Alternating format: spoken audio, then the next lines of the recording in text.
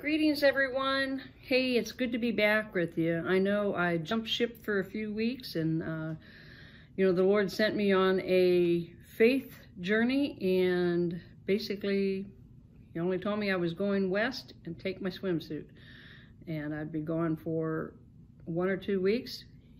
He didn't tell me, but I didn't know where I was going, but I ended up uh, on the Gulf Coast, which was a great time. And, um, you know, it's always a mystery.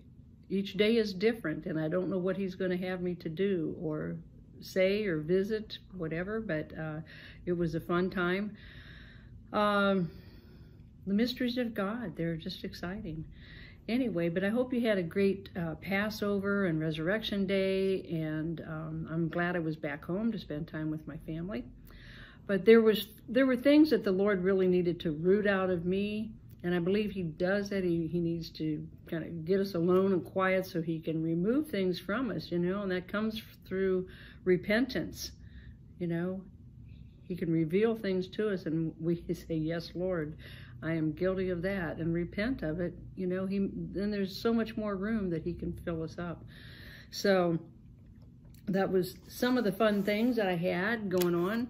Um, anyway, there were a lot of different revelation that the Lord gave me. I had dreams and visions, really exciting times. But there's several things I want to share with you today uh, that I felt were important.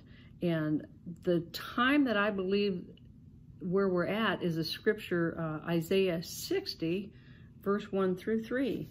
And it says, Arise, shine, for your light has come and the glory of the Lord is risen upon you.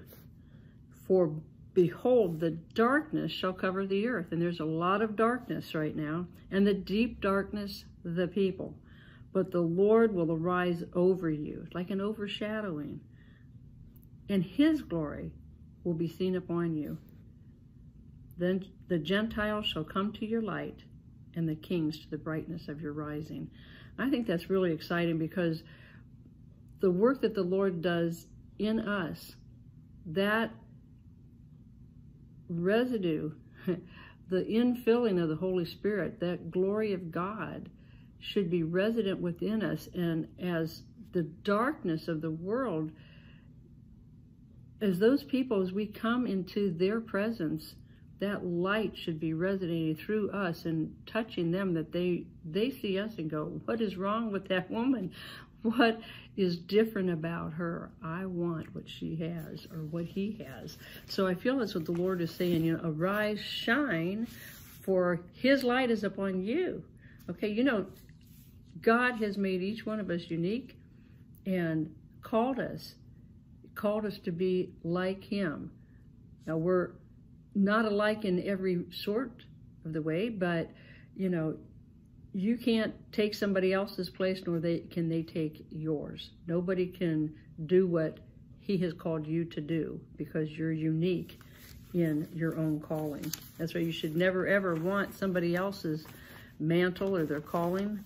You know how many people came to our door asking Bob for his mantle and he would say, you don't want to go through what I did to get it because for each one of you, y'all have your own mantle and what you endure uh, is part of your mantle, part of your calling, okay? Desire the Lord's mantle, and he mantles you with himself and the uniqueness of who he created you to be.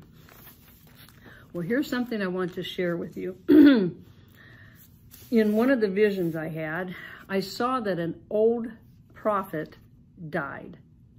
And I'm going to call him a major prophet of today. Now, I did not see his face, but I knew that I would consider him a major prophet, which meant he has a great sphere of influence, okay? Immediately, a minor prophet rose up to take his place. Now see, this would be somebody that has less sphere of influence. But as soon as he did, see, he was promoting himself. And God set him down. God resists the proud, but he exalts the humble.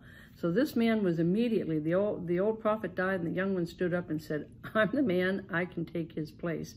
And the Lord said, no, you won't. So he set him down. But what he did, the Lord began calling the prophets forth. And not only his true prophets, but their wives, he named them. And I won't say the names. I heard like three or four names. But he called him and his wife. And again, this one and his wife. Now, of course, the man is better known than the wife.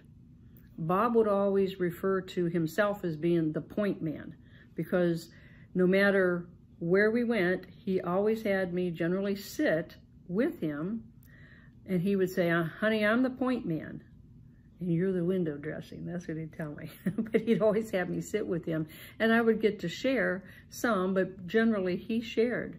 But you see, I felt God is honoring those prophets, those prophetic voices who have, with the help and the unity of their wives, they haven't ignored their wives. They have brought their wives along beside them. Now God is saying, I'm promoting you, bringing you to the forefront. So I felt that the prophets, uh, these are ones who have been in unity, husbands and wives who's been working as a team in unity with the Holy Spirit. The prophets are being weighed on God's scale. It's like his balance, you know, on, on that, this balance, the scale, there's two sides. Well, it's been rather lopsided. And I feel the Lord is weighing the prophets on his scale, his scale of justice. But the anointing is coming upon the women. You're going to see, and I call it the one new man. God created Adam but he was not uh, fulfilled until he had Eve. So the anointing is coming on the, the woman. Um, it's not just, the man won't be complete without the woman. And you know, the woman, I believe she brings a compassionate side of the Lord to the ministry.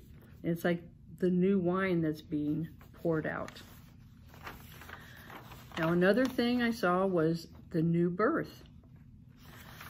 Um, I saw two different women that were pregnant, and this was like March 13th, was I think was the first, well, maybe that was the second lady I saw, but anyhow, what I saw, there were the, um, the one birthing was a lady in Marketplace, and she was very, very pregnant, or at least she looked that way.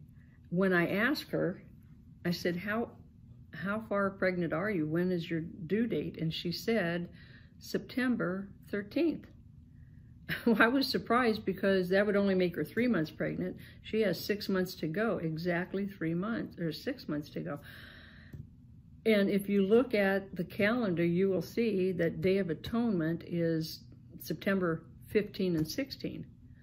So I feel there's a new birth going to take place, and I'm saying especially through the women, okay, um, in marketplace and in our government. And I also add ministry, okay? But this lady, when I saw her, there was a great outpouring of the Holy Spirit, and there was a lot of grace around this woman. So get ready to see that take place. The other lady that I saw, this was so exciting. I had a like a dream within a dream, and it was Melania Trump that I saw. She was pregnant, and I told her, I said, you're 50 years old and you're going to have the first baby born in the White House. And she was really excited about this. And she she showed me she had a uh, journal. She keeps a journal. And she said, I, I pray two hours every day, twice a day. And she said, I know who I am in Christ and I know who he is in me. And she said, I am not standing still any longer. I'm going to preach and prophesy and I'm prayerful she's releasing all that she has. I really felt in that. Now, it may be very true for her personally, but I felt that was speaking of the apostolic government. I felt it was also uh, the, well, in the church government as well as natural government. And we sure need a house cleaning in our government and the anointing to fall on our politicians, on our government leaders. So I feel there's a real grace and um, an outpouring of the Holy Spirit that's going to prevail, and especially you're going to see it coming through the women. Okay, something else the Lord showed me was it's like he is pushing the reset button in America. And he's bringing things into alignment with him. I think men have been trying to do things their own way, and it's not working because they're trying to do it in their own strength. They aren't seeking the Lord, number one, and they're not seeking wise counsel. They're just trying to do things their own way, and that will always fail. So the Lord pushing the reset button, it's going to be messy. I don't think it's going to be a smooth transition, but I think we need to pray for that. I think it's going to be a bumpy road. But the good news is we will prevail. If we seek the Lord with all of our heart and lean not on our own understanding. A lot of the things that's going on right now, it seems like there is no understanding for it. You know, there's so many confusing things, especially if you listen to the news or you look on the internet, you'll just see a lot of confusion out there. But I believe that we need to keep our focus on the Lord and trust not in our own understanding, but rely on the Holy Spirit, okay? Um, I feel there's been a great fracture in our foundation, but we must stay the course. Don't retreat. Keep our focus on Christ. Go forth with truth and love in the power of the cross. The power of the cross. So I say to you again, arise and shine, for your light has come and the glory of the Lord is risen upon you.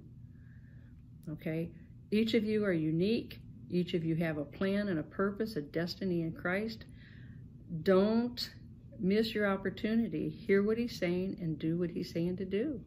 And uh, remember, he's setting, he's pushing the reset button, okay? Let's reset to him for our destiny, okay? Prophets, be prepared to prophesy what the Lord gives you. You know, I was studying about the old time prophets and they only spoke what the Lord gave them. They spoke by the Spirit and they did not offer their own opinion. And I'm ashamed to say this. I know that there has been a lot of opinions coming from prophetic voices. So let's put a muzzle on our mouth if we need to and only speak what the Holy Spirit gives us to speak. Okay? Hey, it's been great. I'll be back with you again soon. Be blessed.